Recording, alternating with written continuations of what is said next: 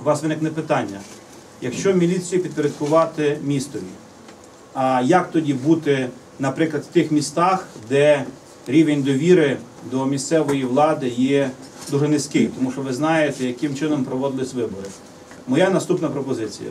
Ми проводимо 25 травня вибори президента.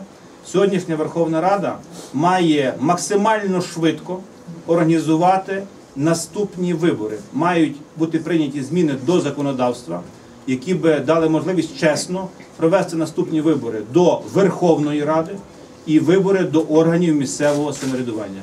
Нема чого чекати, нема чого зволікати. Рівень довіри до влади надзвичайно низький в Україні. Тому перезавантаження повинні прийти люди нові. І вибори мають бути за відкритими списками, щоб не було отих партійних общаків, коли за брендом, за е, лідером ховаються нікому невідомі люди, і потім ми взнаємо їхні геройські вчинки.